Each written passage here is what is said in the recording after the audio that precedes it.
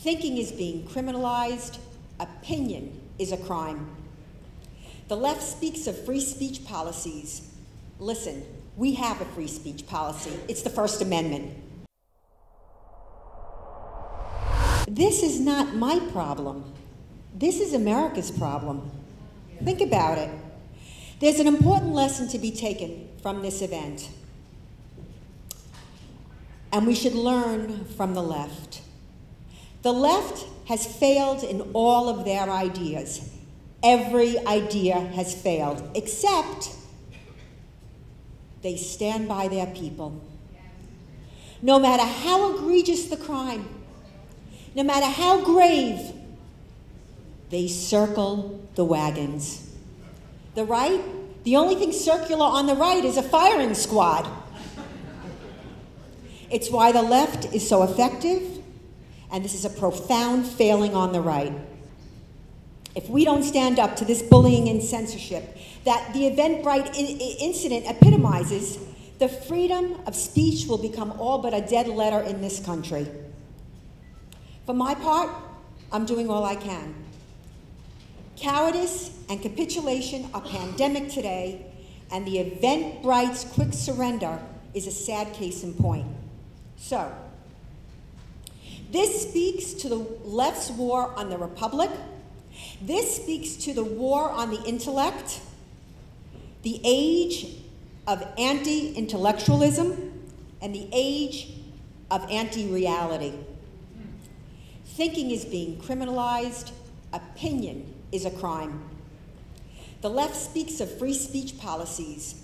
Listen, we have a free speech policy. It's the First Amendment. Inoffensive speech needs no protection.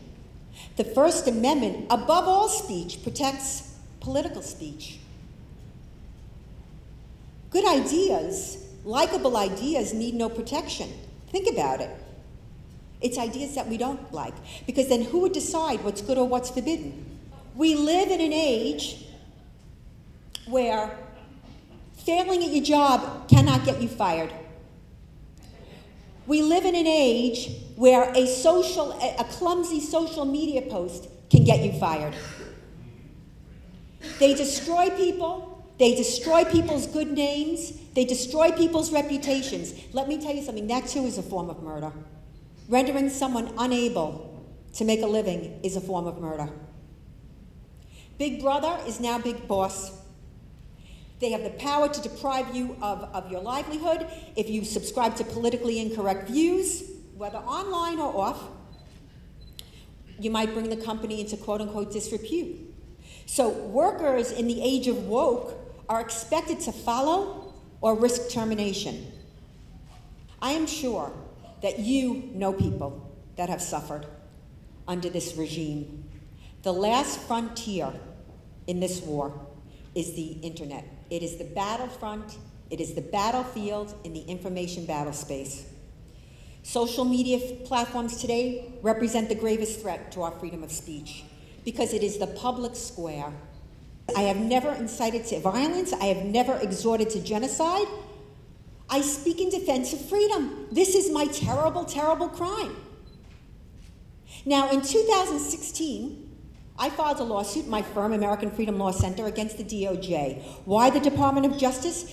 The Department of Justice, we were challenging Section 230 under the FEC code, which provides immunity from Facebook and Google and Twitter and YouTube, which allows them, allows these social media giants to engage in government censorship and discriminatory business practices free from legal challenge. I dare to stand in defense of freedom, and everything that you've heard about me is a lie. The idea that I'm anti Muslim. First of all, I help Muslim girls who want to live without hijab, who want to live free lives. I don't care about Islam. Honestly, I don't care. If you worship a stone, just don't stone me with it. The left has been trying to shut down all dissent for years. Now it has moved to openly calling for violence, and we see a glib politicization of mass murder. Outrage that leverages the, the innocent deaths uh, to destroy reputations and the careers of others. Shootings by mentally unstable people who should have been institutionalized, but the left shut those institutions, by the way, should have been institutionalized, are being used to magnify a white supremacist threat. I mean, uh, I'm a, I'm a Jew and I'm a white supremacist, so it's anything goes, ladies and gentlemen. It took centuries of intellectual, philosophical development to achieve political freedom. It was a long struggle, stretching from Aristotle to John Locke to the founding fathers. The system they established was not based on unlimited majority rule, but on the opposite, on individual rights which were not to be alienated by the majority or minority plotting. The individual was not left at the mercy of his neighbors or his leaders. The constitutional system of checks and balances was scientifically devised to protect him from both. This was the great American achievement. We have some great warriors in the audience, unsung heroes, but this is the nature of the animal. Don't sing about me, sing about you. No, no. Listen, I was really encouraged within the last few months to see that there was a legal decision called David Yerushalmi uh, that Trump and you know other people who want to eliminate critics on their Twitter page can't do it because it's against the First Amendment. So why can't we go after Twitter and say, look, you can't delete me because that's against the First Amendment. Uh, what's the difference?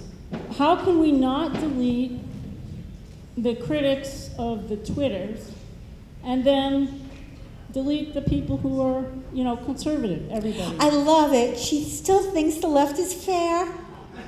I'm not That's so that's so quaint. It is the, the left. law. Twitter is the left. They're not using the law. the law. They're writing their, they're writing their own law. They're doing their own thing. And the fact is, until social media platforms are deemed to be the public square, ensuring our First Amendment rights. People used to say to me, why do you run on government buses and government billboards? Why not run on private companies? Let me tell you two reasons. First of all, governments have the best real estate. They have the best billboards, they have all the buses, they have the subway, that's reason one. Reason two is if the government runs it, the private companies will run it. If the government doesn't run it, listen, they did an ad down in, in, in, in Dallas, hijab, promoting the honor of hijab. The only honor I know under hijab is honor killing. Honor girls, Aqsa Parvez, Noor al-Maliki, Amina and Sarah Saeed, Muslim girls that would not wear the hijab and were slaughtered for it. So I submitted an ad a lineup of girls, a lineup of girls, Western girls, who were slaughtered here, slaughtered for not wearing the hijab. They wouldn't run it. I changed the copy. I took out Islam. I, I did. They wouldn't run it. So it's very important that the government recognizes our First Amendment rights on social media. I think everything else, every people that are suing, forget it. It's a private company. You do not want to destroy pri- the, the rights of private companies. Trust me on this. They will use these laws to destroy you. And the fact of the matter is, is we, the American taxpayer, paid for the creation, development, and invention of the internet.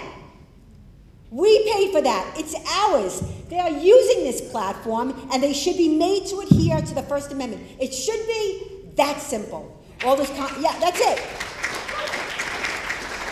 All these people, they're meeting, we'll, we'll tweak here, we'll do, that's the worst thing you could do. Exception makes bad law. We, the American ta taxpayer, paid for the internet. They are using the internet. Bada bing, bada boom. Hey folks, if you like that video, press like and subscribe and never miss another Rebel video.